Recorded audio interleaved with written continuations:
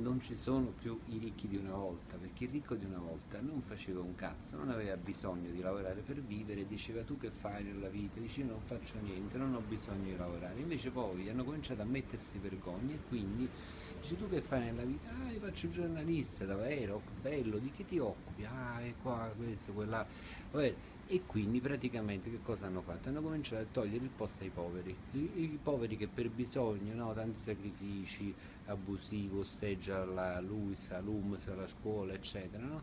E qui alla fine no, non puoi perché c'è un ricco che sta a 30 anni e là occupa il posto tuo.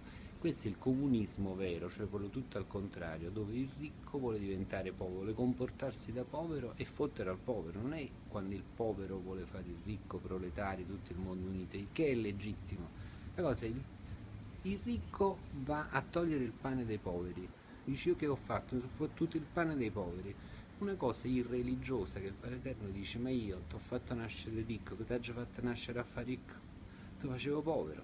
Allora, il, il, cioè, una volta che Leopardi stava là sull'Ermocon, infinito, non è che andava a fare il concorso all'amministrazione doganale pontificia, dove là ci andava che il povero aveva bisogno, eccetera, io ricco, faccio Leopardi, suo figlio lo conto Leopardi, Palazzo Leopardi, Monaldo Leopardi, Biblioteca Leopardi, e studio l'ebraico, non è che vada a fottere il posto al povero, questi perché non si studiano più l'ebraico, l'astronomia, l'aramaico e vengono a fottere posto a noi?